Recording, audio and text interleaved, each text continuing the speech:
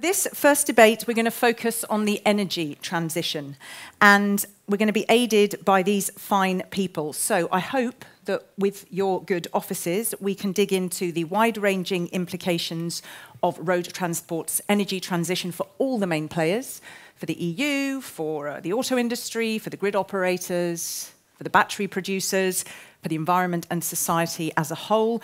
And of course, we are going to look at some of the policy asks to oil the wheels of this transition. So I'm not going to do long intros, but here directly on my left, who I hope I don't feel too close for comfort, is Carla Gohin, who is the VP of Research and Innovation at the PSA Group. And you're very much into R&D because you used to coordinate the R&D department. And do you have, sorry, have I written this? Am I correct? You have an MA in Applied Mechanics. I love this because that's as far from me as it could possibly be. So, you will be the first lady I will turn to. Thank you. Uh, next, we have Artur Runge Metzger. He is Director at DG Climate Action at the European Commission. So, it makes sense. He's responsible for international and EU climate strategy, uh, road assessments, transport, carbon capture, and of course, was um, instrumental you, you really plugged into the Paris Agreement. You were all over that like a cheap suit, as we say in English, which is a good thing. A good thing. Okay, on, on the left, we have Max Warburton. I think, do a lot of you know Max? I was told he's well known. Ooh. In your own bedroom or living room. Max. Max is the vice president of Sanford Bernstein. Now, can you just say, I've got it's a research and brokerage firm, but does that sound way too? But the, the most important thing is where this guy is special is he can talk about some key trends because this is his business. He's an auto analyst and he's very, very good at it. So no pressure for you there. On the left, we have Egbert Lox, who is Senior Vice President Government Affairs at Umicore. Are we all familiar with Umicore? Yes, very, very good. Um, and you're a chemical engineer, and you were also a lot of experience, like this lovely lady in R&D, as I understand it, because you ran a, a corporate R&D team. And finally, last but not least, Julia, Julia Poliscanova, who is Director of Clean Vehicles and E-Mobility at Transport and the Environment. Are we all familiar with Transport and the Environment? Yes, very, very good. She is steeped in knowledge around CO2 emissions, air quality, sustainability. You've got a degree in energy engineering. I like that. That makes me feel I'm in, I'm well supported here. So I'm going to do a very simple thing. I, I told everybody that I terrorized you all into being concise, so forgive me for that, but I am going to give an opening question that's the same for all of you um, to hear, you know, so that we can see where you sit. What is the key challenge in the drive to zero emission mobility? There are many, but where would you put the main focus. Thank you. Can we start with you, Carla? So I'll start, and I'll be uh, very, very short. the key challenge for me is that um, today we have aligned, I would say, planets towards this uh, energy transition. However, today the main challenge is really to be sure and to have the consistency in the pace and the magnitude of all the roadmaps, all the ecosystem stakeholders have now to apply. And um, I will just, of course, you are, all, you are all aware that the fact that all the OEMs are just launching Blitz, electrified product Blitz. We are just opening this area. And just to give you some figures, for PSA Group, it means that by 2021, we will launch no less than 23 electrified models, that is to say full electric, whether also uh, plug-in hybrid ones. So we are just at a tipping point where the products are coming. And however, they could be even the best in terms of autonomy, in terms of recharging time, in terms of uh, life cycle also. If we don't have the other assets of the whole ecosystem, we will face a great deal towards our customers. So I think the key challenge for all of us, because we are all part of this ecosystem, is now we must align our pace and magnitude at the same pace to be almost ensure that we will fulfill all those, th those promises.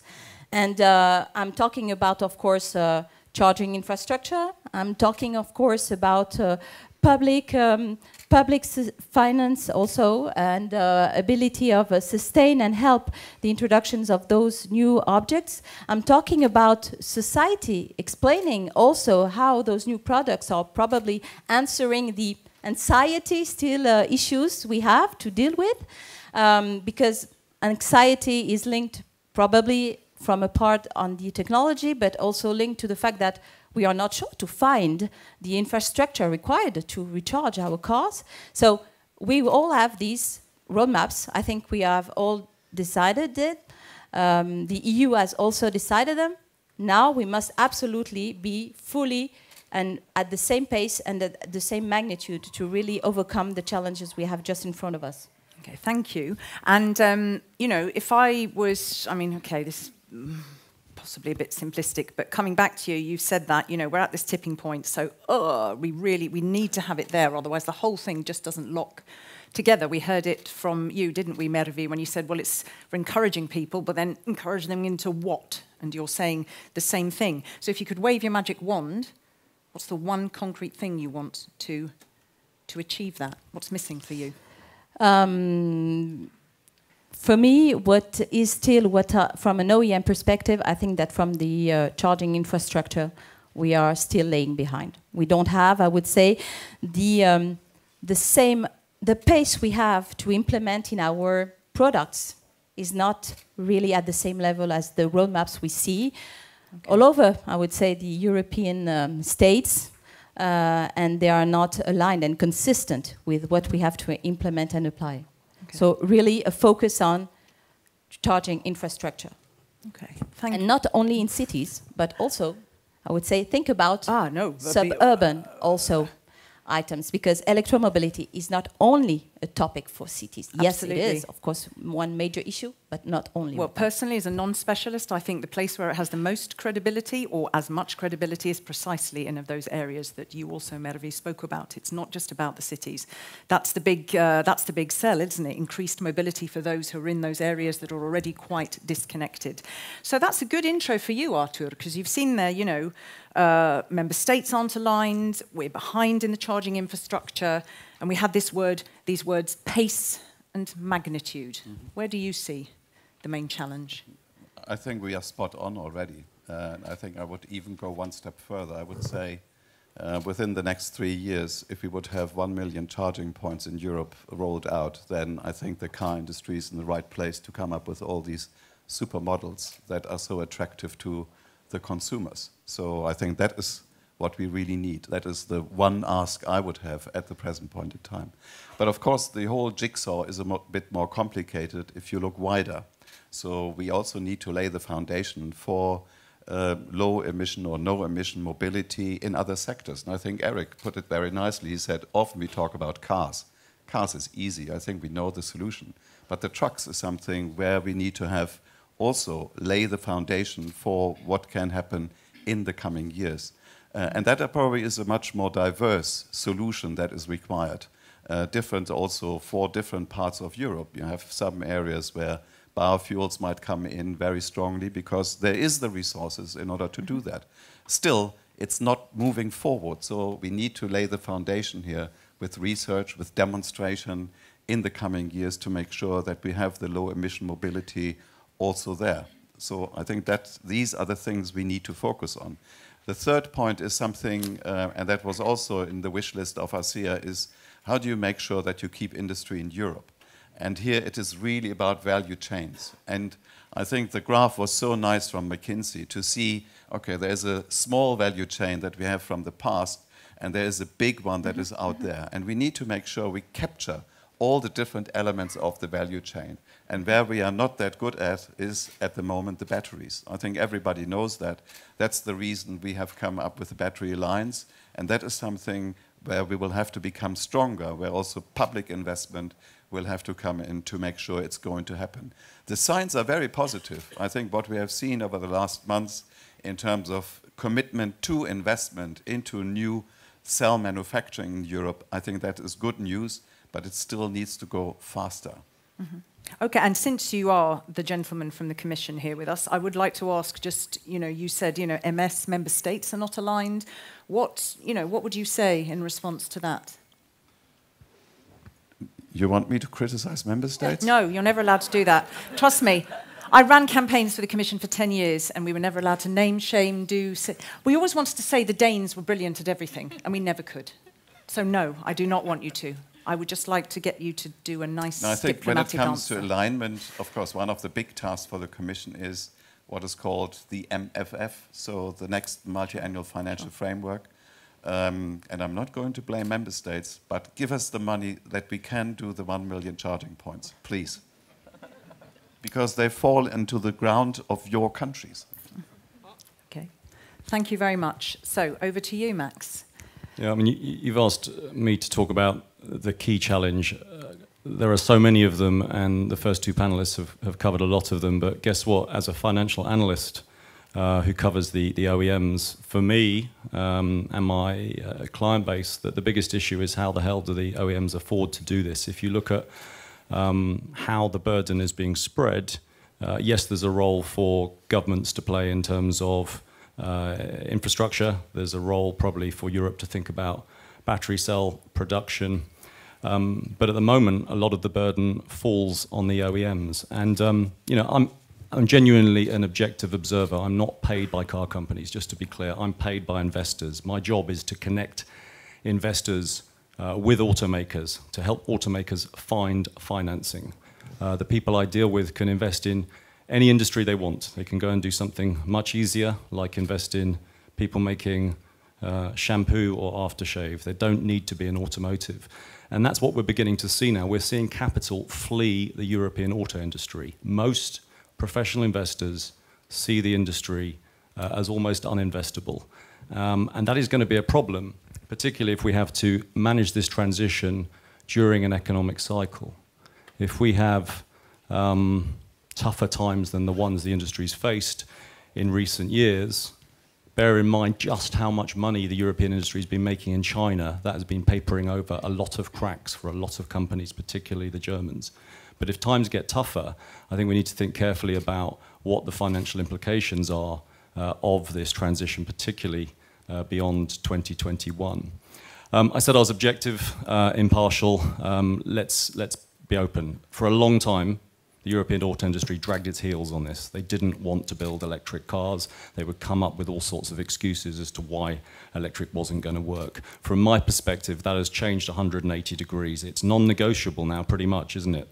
The rules are locked down. 2030 looks almost carved in stone. So the industry has to do this, and we have put the industry's many brilliant minds to work thinking about how can we get costs down. So the industry is trying really, really hard.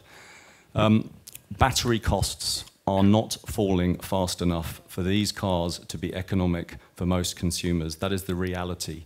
I've spent an immense amount of time in the last few years trying to understand where we are on this. I was based in Asia for four years, looked closely at what the Chinese were doing in batteries.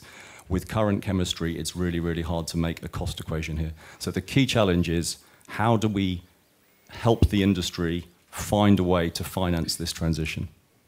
Thank you. Anybody want to come come in on that yet? No? Yes, please. I was looking clearly at you, sir, so please. I think I would, I would agree with that view. And I think that's something, uh, at least from the EU side, with our higher. limited budget, um, we have been starting to do, for instance, helping um, yeah, cell production in Europe with um, the help of the European Investment Bank. And I think that that role is probably going to increase in um, the near future. I think definitely. Um, still, my main worry at the moment is to make sure that the business plans of the OEMs are going to work out, and that depends on the cars being bought from the showrooms. Can I come to you, please, sir? Egbert. Yeah, thank you. Well, um, my view on the key challenge towards uh, the zero emission mobility is that it has to be a holistic transition, well equilibrated, well coordinated. Should be a move towards electrified, uh, not only pure electrical, but electrified. And I like to add also connected mobility. I think the vision of just replacing a thermal powertrain by electrified powertrain is not what will bring us to the zero emission mobility. We think it should be based upon the circular economy principles. It's a unique chance when you develop a new uh, technology to make its recyclability uh, right into the design, and that is what we will need, seeing the material use, the, the need for material use. mm. But along all those wishes uh, from holistic and well coordinated and well calibrated, the speed of transition must be realistic. Nothing, in my view, as an engineer, can be worse when you have this unique opportunity of a momentum of a society wanting change, and then you blow it by having raised expectations that you cannot deliver. That is a missed opportunity that you will suffer for the next 30, 40 years. Mm -hmm. So um, avoiding frustration, in my view, is key to the success of this unique opportunity. Don't compromise on the target, but stay very realistic on the way towards it. Okay, and you said so. You said there, you know, this is a unique opportunity, and, and you've seen I've asked this question many times that there's a there's a need that there is, you know, for this transformation, for this transition. Um, do you witness that? I mean, I know. Let's leaving climate change aside. I mean, we, we see that. That is absolutely going in and out. Hello again. That's that's absolutely clear. There is a lot of conversation in the public domain, but this particular this societal transformation, low carbon, thank you. Do we see, do we see an engagement there from the public, an understanding there? I asked the question in Finland. How does it feel? Yeah, well, I, I can. Uh, I, I have not done a, a deep statistical analysis. I My personal experience. I'm an engineer. I'm a uh, uh, developer. Um, I worked many years ago to develop together with Peugeot the, the uh, uh, particulate filter for diesel engines. I've seen change, I like change, but then I always check. I live in Brussels during the week. Uh, we have uh, a big square in front of my home that has been completely redone. Guess what? Not a single loading point. My colleagues, uh, some of them are also present, look like me also at, at some real estate, new real estate projects in Brussels, and just out of curiosity, checked. There is no infrastructure foreseen in the biggest three projects that are being built in Brussels or that have been delivered already in Brussels for having the recharging of electric cars. And that is my, it's, a reality. And we can't force it. So I'm, I'm, I'm also very, very liberal thinking. I don't believe in enforcement, but I, I believe in repeating uh, and choosing and, and, and, and helping. Yeah it, it, can only come from the people that ultimately buy the thing, huh? buy the home with a, a, charging point, buy the electric car. Okay. And that needs apparently its time, and that's reality. Thank you. So you sort of have, I suppose, the privilege of uh, guest to come last because you hear what everybody else said. It'd be interesting to hear what, reson what resonates for you. There was a big talk there of, you know, really keeping industry in Europe and the importance of the value chain. These costs, this is crazy. They're not coming down fast enough. Where can the EU help with its funding instruments? Where were we at? Um, very important talking about the sort of the ecosystem as, as a whole in terms of the circular economy. Um, where is the demand? And then this matching between, you know, the, I was about to say products, but it's more than products, isn't it? Mobility services and those the infrastructure where there seems to be a big frustration. Um, what's your, where are your challenges? Well, I think first to say is I really feel like we in Brussels live in a new world. We have a new parliament, new commission, new commission president, climate ambition is all on the agenda, which is great. It's, it's great opportunity. CO2 standards coming in next year. We see hundreds of electric vehicle models being developed and coming online. And we recently analyzed some of the production data in Europe, and it actually looks more promising than we thought. Millions of millions of vehicles produced in Europe, electric vehicles, are coming to be replacing the conventional cars. Interesting fact, by 2025, the largest country per capita to produce EVs will be? Anyone wants to take a guess? Slovakia, which today is the largest uh, diesel and petrol car producer per capita as well. So it's the change is coming, and I would say the key challenge is to keep the momentum, enforce, uh, deploy, uh, implement, to, to really just keep it going. It's going in the right direction. We are at the tipping point, but the only way is, is the way forward. Um, and a, quick comment here on, on some of the things we hear from potentially the, the new commission. Uh, more ambition, greater carbon pricing, it's all great. Uh, a bit puzzled by some of them. Uh, don't find it helpful maybe to reopen the discussion on road transport in the emission trading scheme. Now, I'm not going to give anyone an econometric lecture here on emissions trading scheme. It's, it's, it's not the place, there'll be many opportunities. But instead of spending time on that, I think there's so many challenges new commission can do to help the industry and help the demand for those vehicles, for the investments of the industry in the coming years. First of all, we really need to improve across the member states taxation to really help people wanting to buy that car with a purchase price. A lot can be done. There's already a lot of fleets and segments, taxis, private hire vehicles, corporate fleets, where e-mobility already makes total sense. There are just some barriers to be overcome. So let's start there rather than, you know, with those people that, let's be honest, can never, uh, even in the past, were able to afford a new car. Secondly, infrastructure. Can't really stress it more importantly. Ne really, it's, it's not just about the numbers. It's really about where those charge points are. Mm -hmm. What are they? Really with the consumer in mind, the consumer experience. Where will people want to charge? Commercial property developers really stand out here. There's a really, and, and you just mentioned it as well, a really, really untapped potential.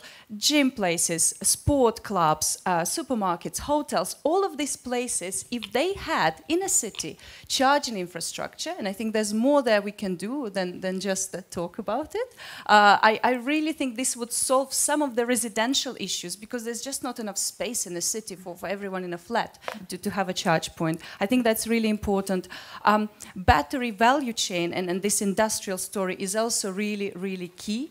Uh, industry now in Europe have invested 150 billion into e-mobility to date. So success in this area is now the industrial success really here in Europe in the future. But we need to do much more to really secure Europe as the key sustainable battery production, circular battery production champion. Uh, and I think that by 2023, with so many factories being announced, that story about prices not, go, not going down fast enough will be solved. With all of this scale, it will be happening. Just 16 gigafactories already announced or planned to be in Europe alone. So that's that's all good news. But last okay. but not least, oh, okay. one last. I okay. hear you. Go I see it. you. Go for it. Um, I think we also need to be honest. Uh, e-mobility, electric cars, is not the silver bullet. It's part of the solution, and there's much more we need to do in in cities in a wider mobility, in the way we use space in a city beyond just replacing every car with with an EV, and, and that's true. Mm -hmm. And and it was great to see the presentation to that effect. Thank you. I think, I mean, just to come back on that issue, two issues there before I open it to the floor, and this issue of technology neutrality, that again was something that we heard from the Finns. You said that was very, very important. Um, and there's no silver bullet. But just let me touch on one thing this issue. You said there, well, you know, we need to help people. There's tax incentives. How can we do it? Anything else? Because you said, you know, until I see that demand, until I see them being driven off forecourts, I'm, you know. So what other? What else? Because is there not, people are not entirely sure around electric vehicles. Are they really that clean? Because, you know, I mean, there's a lot of conversation around this. They're not affordable yet. So we've looked a lot at the infrastructure. We've touched on affordability. But what about people really understanding whether it's, whether it's a go or whether it's worthwhile? Anybody? Yes, yeah. go ahead, Carla. Yeah. I'll try to start and, and then I'll pass the mic. Um, Yes, you're right, and I think that uh, that's also something that has been already highly discussed. Is that um, talking only of uh, these environmental solution of electromobility, looking at the tank-to-wheel solution, is not considering the overall impact of those solutions. So we absolutely need also to improve the way we acknowledge, evaluate the different portfolio of solutions having this, I would say, whole life cycle analysis. It's not only talking about batteries, it's talking about the raw materials, it's talking about, of course, manufacturing, it's talking about the recycling, it's talking about the second life of those batteries. Mm -hmm. And the same issues, the same questions are also asked for another kind of technology. We talked about fuel cell. Uh, of course, technologies. It's the same thing. Looking at the way you produce the H2, may lead to a quite different overall synthesis. So yes, you're right. And I think that on this perspective, and I think that what has been done through the EBA, uh, that is to say, the European Battery Initiative, looking at the way we want to labelize an eco design linked to the way we want to produce these batteries is a first step on this way. But yes, neutral, neutral technologies, and of course, having this whole vision on the life cycle analysis to be sure mm -hmm. we are proposing the best solution, but looking at the overall cycle and not only to the, I would say, uh, um, product Absolutely. solutions. But then that is also up to the consumer being informed enough to understand what that whole life cycle is all about and making choices. Yes. Yeah, I mean, Carla, Carla raises all sorts of interesting points, and you know, being in a research and uh, development function, she's got to think on very long cycle. We've got to get this done in the next 18 months. You know, these cars are turning up in 2020. Can everyone hear me on this microphone? On tw in 2020, 2021, and we've got to we've got to sell them. And when I talk to all sorts of people throughout the auto companies and, and, and related uh, related industry players, there's just not convincing uh, market research to suggest that we're going to be able to sell these cars. You talk about a tipping point, we're close to a tipping point. We want to get this going. I think we're actually heading probably towards EV oversupply and some quite ugly pricing in 2021. Um, the only company that really, let's be honest, is going all in on electric, I mean, all in maybe is an exaggeration, but the one that's most enthusiastic is, is Volkswagen. And Volkswagen's following almost the, the Steve Jobs approach of market research is pointless, consumers don't know what they want till you, you show it to them. And, and let's hope that's the case with the, the ID products. But pretty much every other company looks at what Volkswagen's doing and doesn't understand what they think they're seeing in the market because others don't see it. Yes. I would say that um, there is a lot of potential and a lot of consumers, if you talk to them, if there was the right car for them, would buy that. But beyond that, speaking of market service, I think as any industry, the car industry has an incredible power to sell the product that they want to. There's a lot of economics theory that says, you know, people don't actually know what they want. It's kind of they, it, it, it, you know, they think that's what they want, but actually it's the society around. It's the way things have been marketed and shown to them.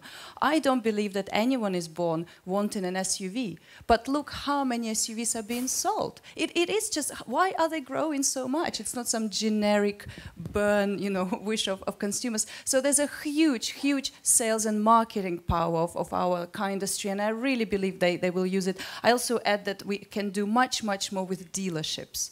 A lot of people today that try to buy an electric car are not given the right information sure. simply because dealerships today lack clear understanding. For example, in the UK, as part of their zero uh, strategy, special certification and training programs for dealerships were, were done, and I think that's very, very helpful because that's the contact between the person who wants to buy car and, and, and the car manufacturer, first That's absolutely critical.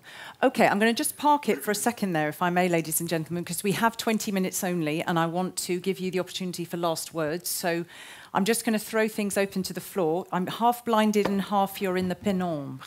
So um, there is a gentleman there, that's so cute. It's me, you rose out of your seat. Anybody else? Let's just see, perhaps, do we take two or three? So those three. So we'll park it for the minute. Doesn't matter which order. Keep it lovely and concise, please. Are you going to throw a catch box somewhere? You're terrified. There's two people at the back. You might. Oh, gosh. That was just so bad. No, okay, that's not fair. Um, please stand. We can't see you at all. You're in blasting lights. Oh, say, hello, person in the shadows. Who are you and what's your question? Yes, yeah, speak right in the box. That's okay. Yes. Oh, perfect.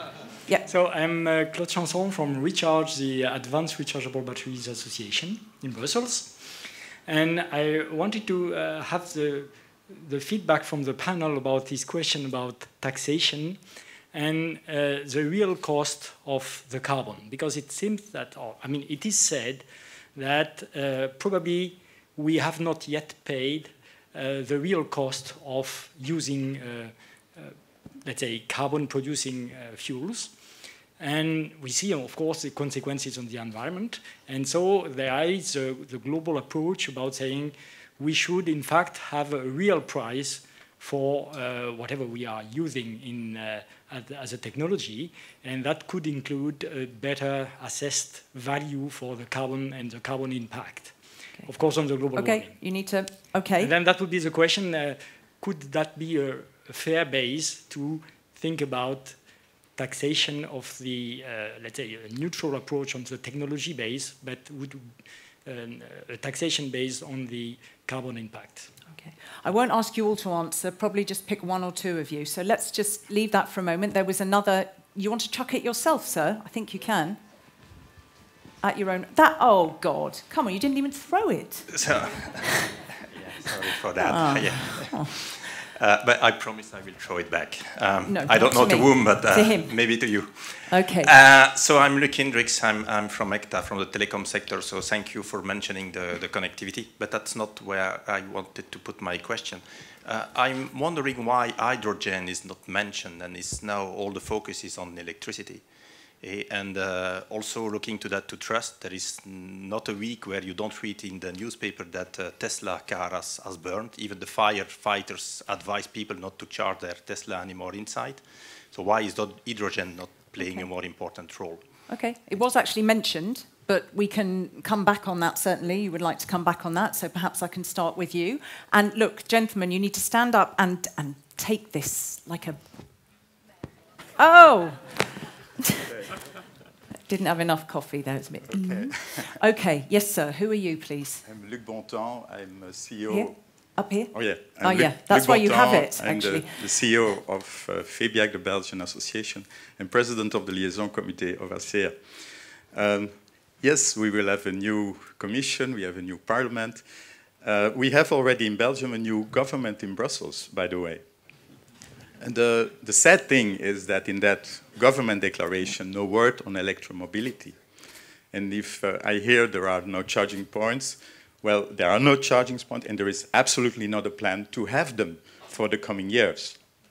And what I hear, uh, for instance, from Ecolo, is they are against e- electromobility because they are against cars. And I really tell you, and you can count them here in Brussels, uh, we need there some more, uh, I would say, drive from the Commission in order that we get uh, in the capital of Europe, please, also this electromobility done.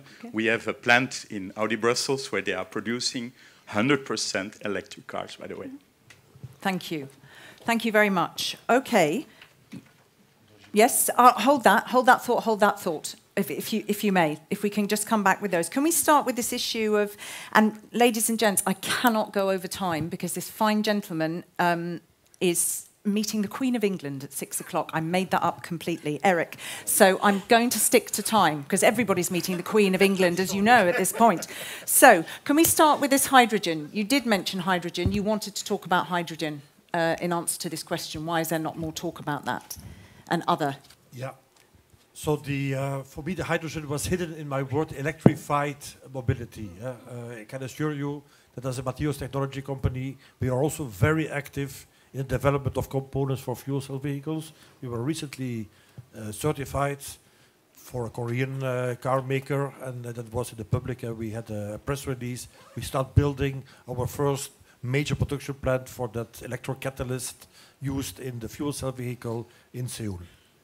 And so I confirm you that, uh, of course, within the tech portfolios, of course, these technologies are looked at, but clearly uh, towards, I would say, the current and absolute necessity of launching those zero emissions solutions now, we don't have still the right maturity of the whole technologies, and second, the affordability of the whole system also. So yes, of course, it is part of our tech roadmaps, but not still at the right level of affordability, maturity to be uh, deployed right now. Now we have to deal with this energy transition, but it is part of it, of course.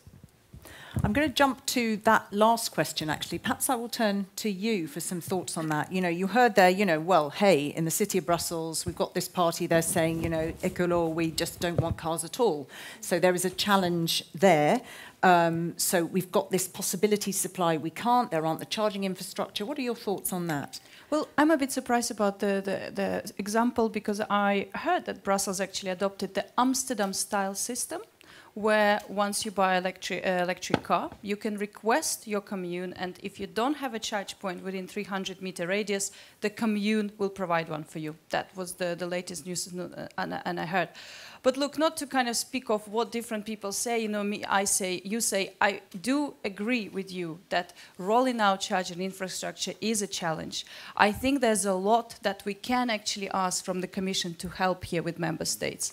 Uh, put in some conditions in the funding, regional funds, CEF, a lot of funding programs, just putting it to them that if you want that money, you need to prioritize that is, is one.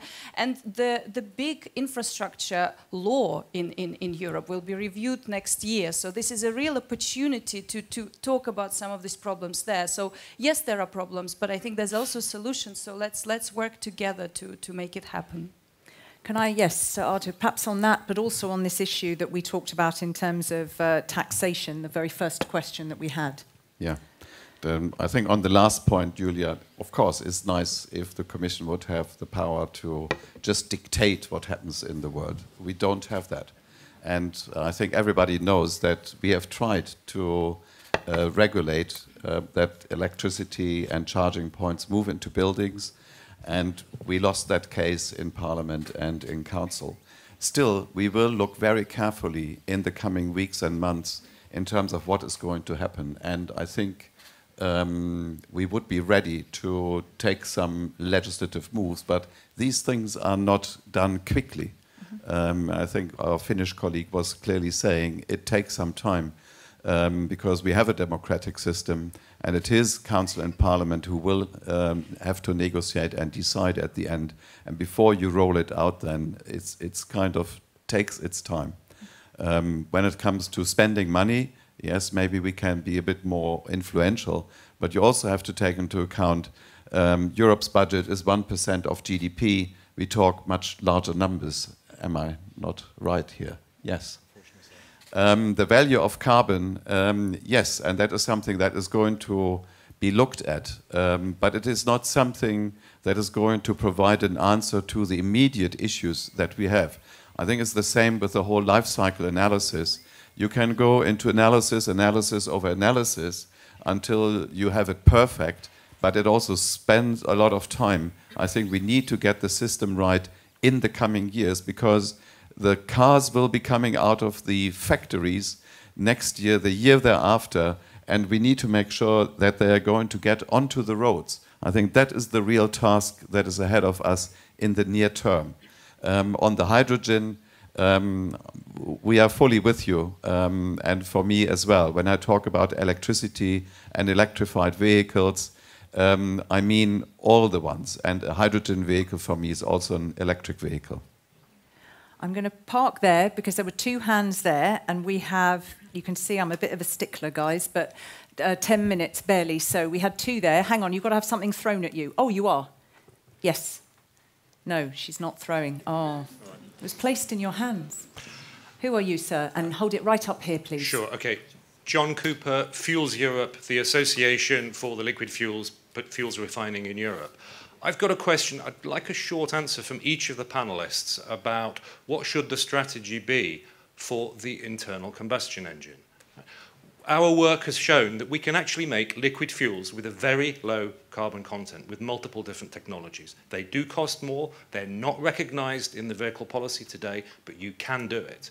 So we hear concerns about whether the pace of electrification can meet the expectations. We also see that 40% of cars out of Europe are actually exported to different markets where those support mechanisms for electric cars are not there.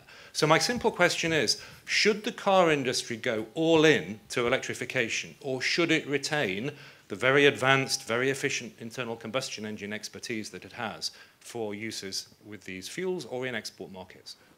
Thank you very much. Sure. Thank you. And the last question from, there was another I believe, gentlemen here. You can go on, throw it. Go on. One, two, three. Yay! You did it. We have to clap because he caught it. Voila.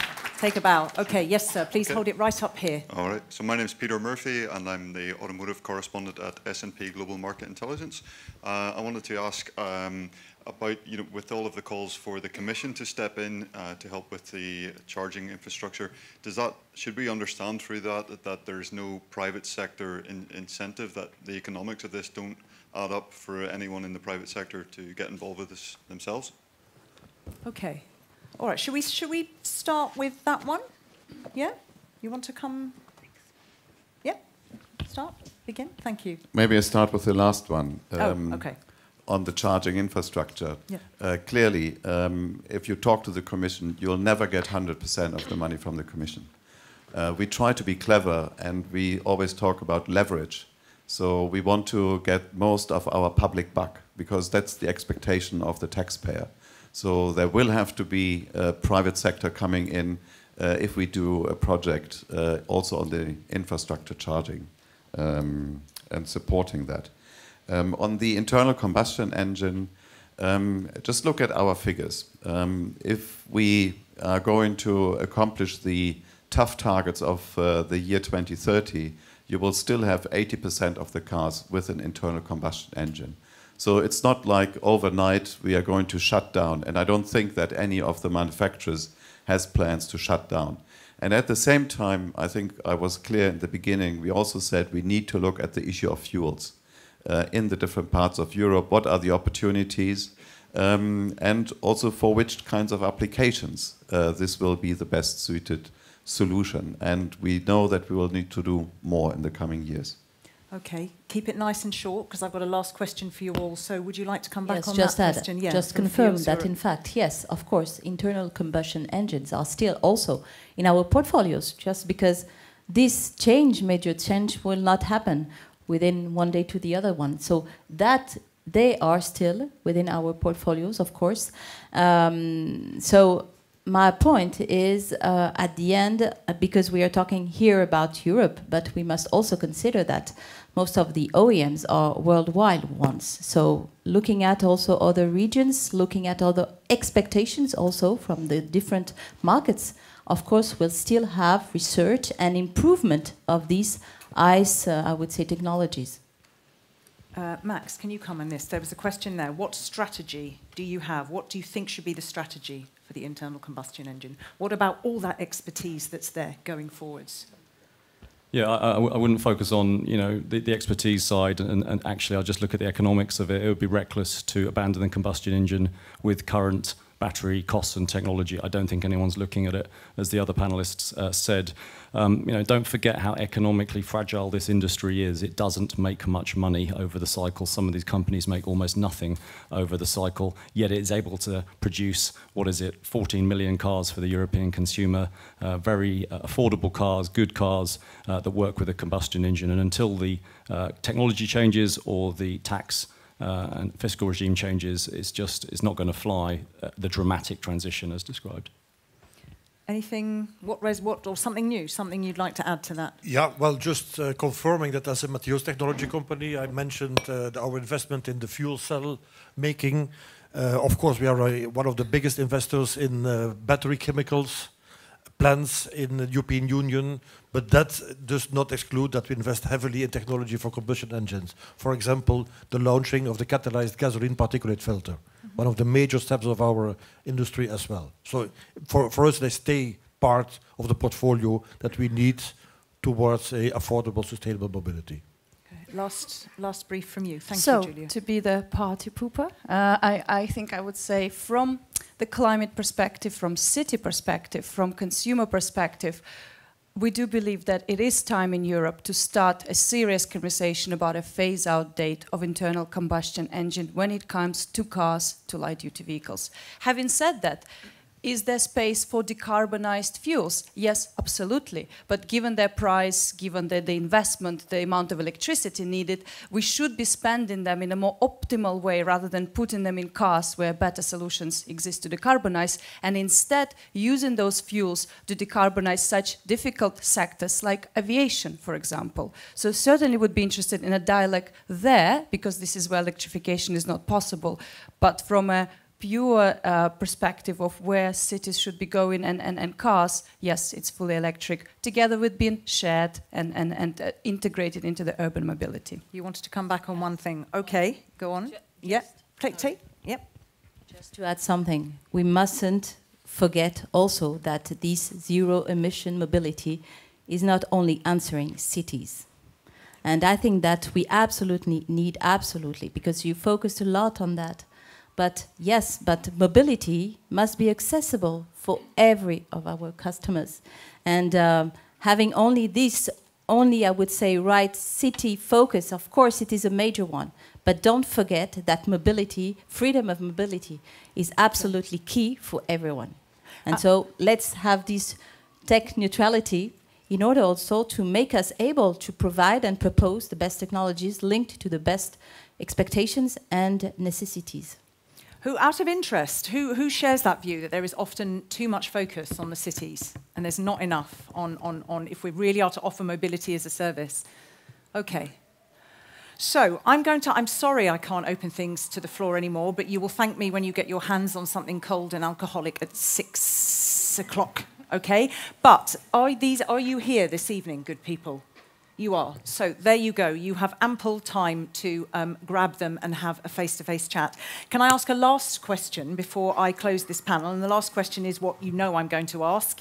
You know, we, we've got this new commission coming up, we've got the parliament. So we've heard of some of these challenges. Okay, there is no silver bullet. It's highly complex. It's really quite an origami for the mind and for stakeholders and for the whole ecosystem.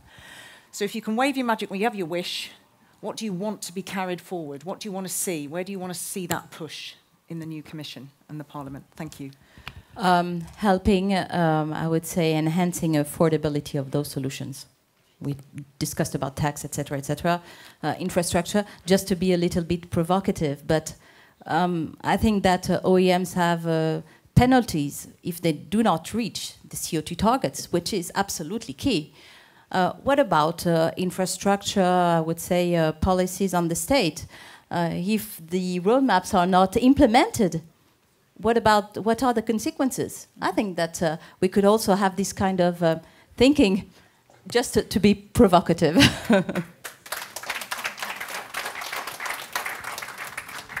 Thank you, Arthur. I think I said it. I want these one million charging points and nicely distributed in Europe so that people will not have feel range anxiety. Will not have range anxiety. Yes, range anxiety. Yes, thank you. Yes, Max. Can, can I give a more than 10 second answer? This, this Yes. focus on charging is all very interesting, but actually, if you look at the target audience that could run an electric vehicle without more charging infrastructure, it's actually quite sizable, and very few of them are buying electric cars. So I think we might be uh, looking at the wrong thing here. If you look at the number of people who have multi car households, who are wealthy, who have off street parking, why are we not converting more of those to EVs if EVs are so compelling? I'm not sure building charging infrastructure dramatically changes consumer behavior. I think the focus has to be on consumer behavior. I think Julia's point about advertising is fascinating. I think that's probably where we need to be looking. We're all looking for breakthroughs in chemistry and cost. We probably need to look for breakthroughs in advertising, and this industry is very good at that. But in the meantime, my one request would be some sort of coordinated fiscal plan to incentivize these cars. Thank you. Yes, Egbert. Yes, so I, I, I wish the, the new Commission, of course also new uh, Parliament, to continue uh, in a non-disputable way in this uh, fantastic chance of, of transition, but do that with an even higher attention to the internal coherence of all the regulatory aspects. And I can uh, fill the whole evening with examples. Go Uh, on, go ahead, go on. Let's just throw the book out. No, okay. Well, you can fill the whole evening later. So if you want to hear all about that, gather round. And thank you. Last from you, Very please. briefly, so much have been said. I would say just keep the momentum and really get to the point where e-mobility really penetrates and is the most of sales in Europe, which means an IC phase out. Alongside that, completely, completely there needs to be supportive policy, just transition. Uh, regions that today are really reliant on, on diesel, there's some factories and, and towns that are built around it, need to be supported. But that cannot slow down the transition. It might be just a, a short-term plaster, but long-term, this is the direction. So not, let's, get, let's not get distracted. Thank you very much. Thank you very much. Can I give firstly, I'm not going to sum up because I don't have the minutes, there's so much, but I hope that you will, Eric, do a little bit of that and I will do it right at the end before I release these good people. We covered so much ground. Who feels that that was an interesting dynamic conversation and they take one, at least one new thing away? Was that useful for you? Was that Goody. Okay. So there you go. You have done a very, very good job. Can you give them a very warm round of applause? Sorry. Thank you very much.